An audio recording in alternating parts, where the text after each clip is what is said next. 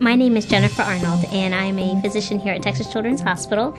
I work in the newborn center in the neonatal intensive care unit, and I also uh, am the medical director of our new pediatric simulation center. I'm Dr. Martin Lauren. I'm a pediatrician at Texas Children's Hospital. I am Ann Stern. I'm one of the executive vice presidents at Texas Children's. My name is Gordon Schutze. I'm a pediatric infectious disease doctor by training, but I'm, my title is vice chairman for educational affairs for the Department of Pediatrics at Baylor College of Medicine at Texas Children's Hospital. I'm Kelly Wallen. I'm the assistant director for the Simulation Center, and in that role, I am sort of the director of operations. One of the things that I have responsibility for is um, the quality and safety program, and um, of course, Simulation Center is a big part of that. Cutting edge programs are nothing new to Texas Children's, and certainly a simulation center. Uh, a large simulation center like we have here is, is a key component to an, any educational program really that's being developed in the United States right now. Simulation in general was started in the 1960s by a man named Dr. Peter Safar. He teamed up with Asmund Laerdal, a Norwegian toy maker. They developed Resusci Annie, which is our first CPR training mannequin.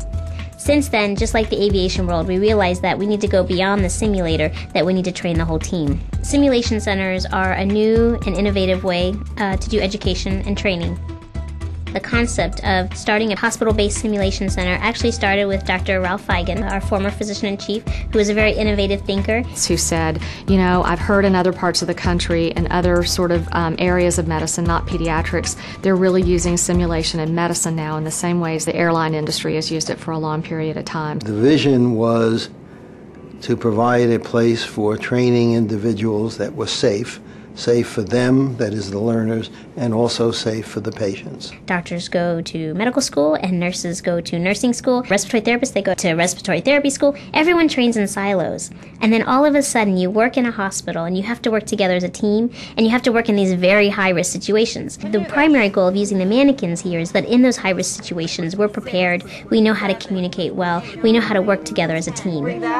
Being a hospital based, multidisciplinary center is what makes our center pretty unique. This simulation center is the state of the art. All the products are very new, all the mannequins are really state of the art. Mannequins that breathe, that turn blue, that have heartbeats, and they have pulses and blood pressure, and sometimes they cry if they're a child, they talk if they're an adult. And so these mannequins are so high tech that they allow healthcare professionals to practice in a realistic environment. When you're watching it happen, you have to sometimes pinch yourself and remind yourself that that's not a real baby on that table.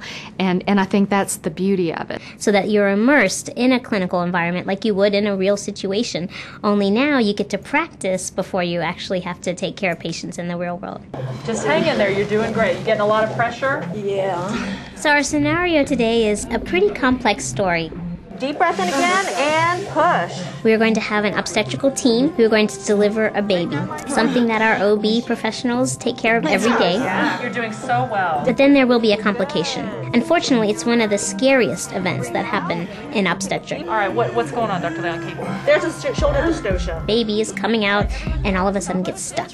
Jen, can you get suprapubic pressure? It's a pretty high risk situation because it can lead to baby and maternal mortality. The obstetrical team will get to practice how to handle a true shoulder dystocia using our high fidelity mannequin Noelle. They will also have to communicate not only with each other, but with a father. So we have a standardized patient acting as dad. So they'll get to practice how they handle the situation in the real world as a team and with a parent or a family member. All right, cutting an episiotomy.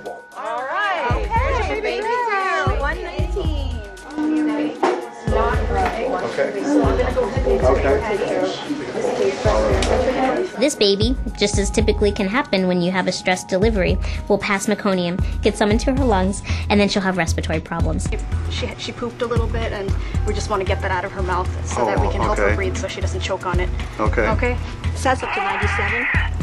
Okay, baby's crying. Good. Heart rate's 150. She's working awfully hard, isn't she? Yeah. What's that sound? She's struggling a little bit to breathe, so we're just giving her some oxygen. The labor and delivery team, which is practicing as if they're in an outside hospital, will initially stabilize and manage that baby as they would, but then they will realize that this baby needs a higher level care.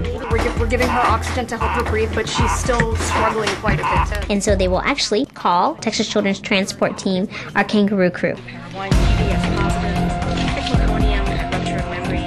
Membranes. Very, very hard to breathe. We think that, uh, we think she needs to come to you at Texas Children's. Hi guys, I'm Bridget Cross. So the kangaroo crew will come and they will be able to stabilize the baby. They'll be able to make sure that the baby has a secure airway before transport. We're weaning her oxygen as we go, and so she seems to appreciate having the support of the ventilator. And then they'll put the baby in a transport warmer, Okay, Dad, we're just gonna go out our hospital here. put him on an ambulance.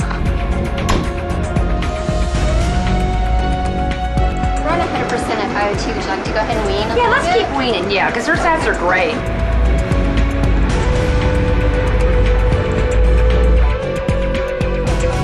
Take the baby back to Texas Children's Newborn Center, where then the neonatal intensive care team will continue to manage the baby. Oh, okay.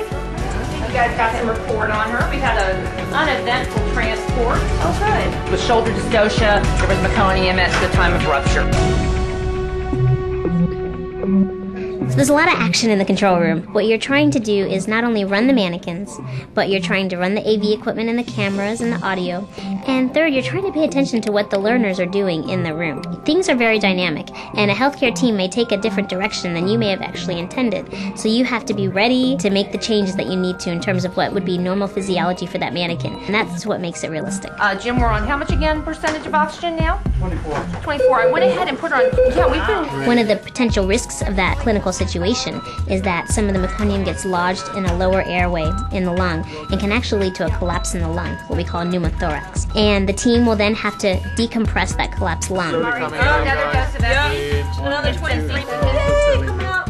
Oh, good. and ultimately save the baby's life by doing that. This scenario, your work is done. If you'd like to meet in debrief A, we will go over the case. A great mentor of mine once said, simulation is just an excuse to debrief.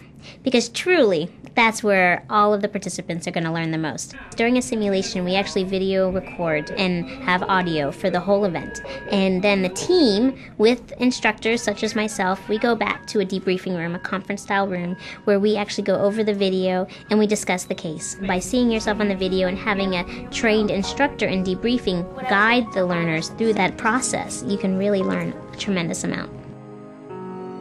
Texas Children's loves to be a leader, and so we're always looking at, you know, what's out there that could help us be better, what's out there that could help us be better teachers, um, better facilitators, um, what's out there that will help us ensure that the care is even safer tomorrow than it is today. Not many institutions have the opportunity to have this extensive type of training um, for their healthcare providers, and I think this is going to only improve the good care that we currently give, um, and really kind of puts us at the forefront uh, in in medicine in the ability to provide the safest and most effective uh, patient care that you can.